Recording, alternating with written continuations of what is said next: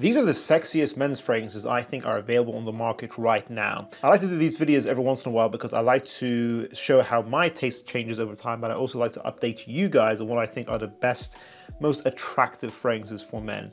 A lot of us guys don't really care about the uh, fancy notes or the most animalic oud you can smell.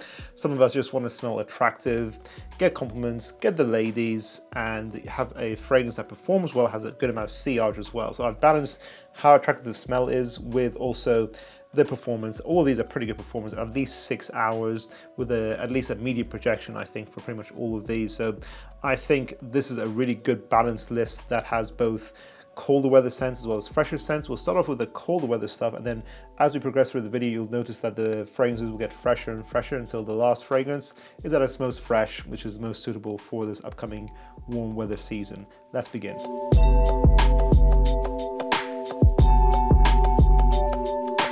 Stronger with you, absolutely. Now, I can't deny there's a lot of similarity between this and Azzaro's The Most Wanted. I feel like Azzara The Most Wanted is the more simplified, more youthful, more fun, casual version of this fragrance. If that appeals to you, then go for that. If you want a good clubbing scent, I think The Most Wanted is probably more suited to that. But in general, I can't deny this DNA is extremely attractive. Stronger With You is a revolutionary DNA in the mainstream market. A lot of fragrances I feel like are trying to copy it. This like a strong amber aroma molecule effect that this fragrance has. Strong ambers in here, medium projection, 8 to 10 hours longevity, with a smoky chestnut feel with boozy notes in here as well. It's got a rum in here with a very overall balanced and easy to love DNA. It's definitely more of a cool weather scent, but I just feel like this DNA was already pretty good with the original Stronger With You. I felt like it was a little bit too beginner friendly, a little bit boring in my opinion, so I think the Absolutely with the boozy note really adds a nice twist in there that makes it interesting enough and really attractive. So if you want a great romantic but also strong performing evening scent, then go for this flanker here. I think so far from all the flankers I've tried, this is my favorite. Hugo Boss Bottled Elixir. One of my favorite elixir scents out right now. This is a great signature. If you enjoyed fragrances like Armani Code's Absolute, you'll enjoy this fragrance, I think, as well. I don't think they smell anything that similar in general. I'm not sure why. I feel like they're just it's just a very good compar- it's a good comparison. I'm not sure why because I feel like the same scenarios you'd wear that fragrance, you'd wear this as well. This is like a balanced vanilla scent that's sort of like a signature in the cooler weather, similar to what Code Absolute was also. So I kind of say this is like a fuzzy, spicy vanilla uh, that is smoothed out. It's sort of like Sauvage Elixir, something like that, became more sweet, more smoothed out, while still being balanced enough to be a signature. So I think, yeah, this could be your daily scent in the uh, autumn and winter time. You can wear it in the spring as well, in my opinion. You can wear it on dates in the springtime in the evening. And I just think it is a really great affordable elixir scent. It lasts a really long time, around 10 hours with medium projection, a really attractive signature. And this is just a really solid release from Hugo Boss themselves. I like to hate on their other releases, but I think this is a standout from them. This is probably their best release out right now.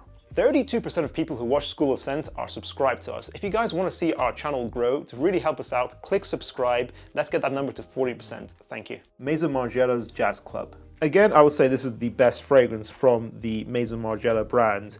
It is probably more masculine, I'd say. It needs more masculine, spicy, tobacco, boozy notes, amber. Sort of like if you want to upgrade from Dolce & Gabbana's The One Eau de Parfum, you go to something like this. It's a little bit more complex, a little bit more interesting, more things going on and it's incredibly attractive. It's so nicely balanced. Like amber evening scents can be a little bit too intense sometimes. Like let's say Stronger With You absolutely is definitely an intense scent. This is very nice to wear, very easy to wear, very balanced. As I say, six hours with a uh, soft to medium projection. But for the environments you're going to wear it in, I think that's fine performance. It does smell like a classy playful jazz club. It's sort of like the idea of this uh, entire line, the idea of this this fragrance. I think they recreate that really well. I think this is a beautiful fragrance you need to try.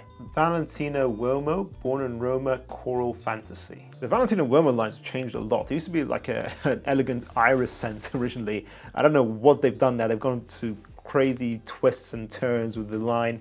But Coral Fantasy really blew me away. This stuff is attractive. It got a lot of hype online, so I had to try it. I tried it in store.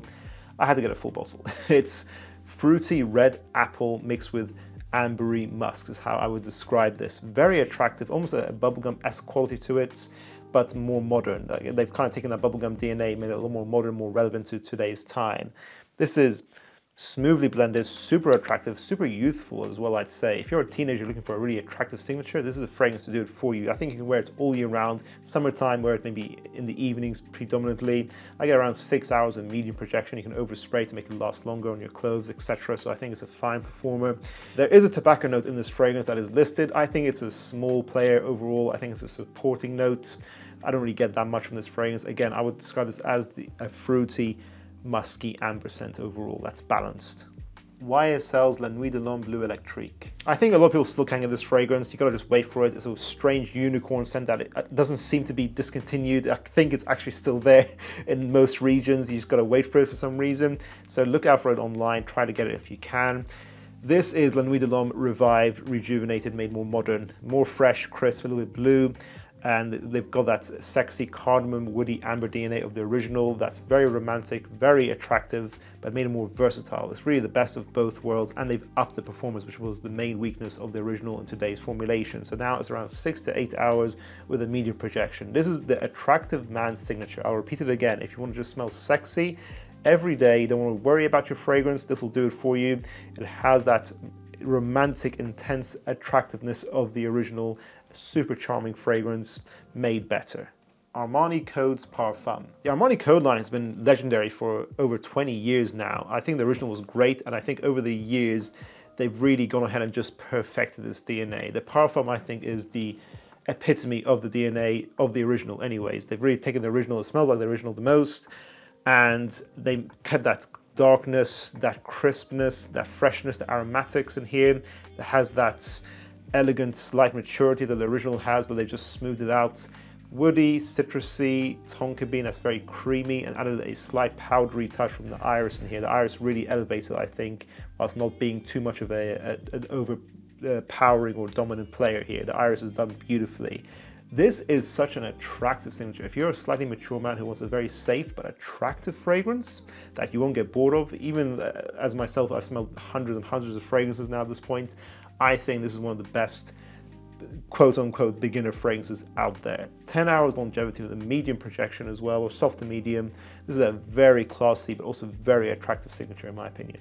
Giorgio Armani's Acqua di Gio Parfum. This won our public reaction video for the summer big hitters uh, for the, the ladies, what they liked.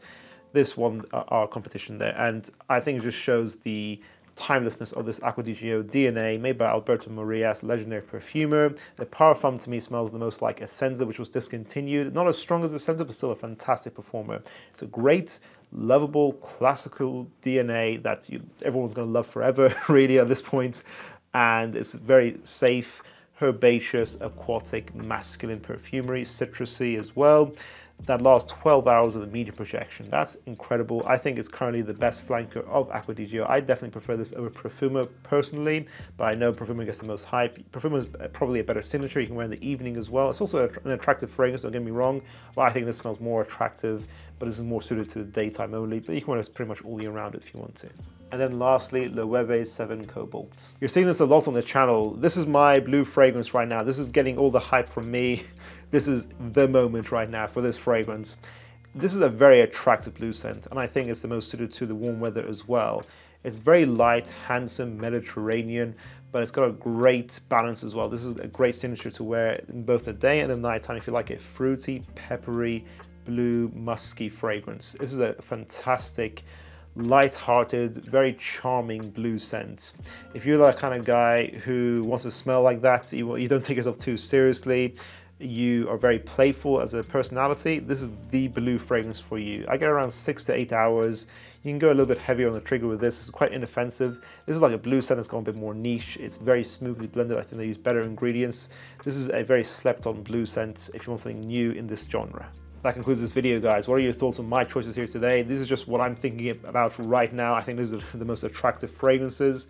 What are your thoughts? What are the most attractive men's fragrances you're wearing right now. These aren't necessarily my favorites. I'm not saying they're your favorites, but what are some fragrances that you put on and you just think, wow, this just smells incredibly attractive. I just can't see how you can go wrong with this choice. If you want to be kind to the rest of the community, guys, share those kind of fragrances, those attractive fragrances down in the comments down below, guys. And if you enjoyed this video, make sure to check out our previous video on men's attractive fragrances. I'll see you guys in the next one. Bye.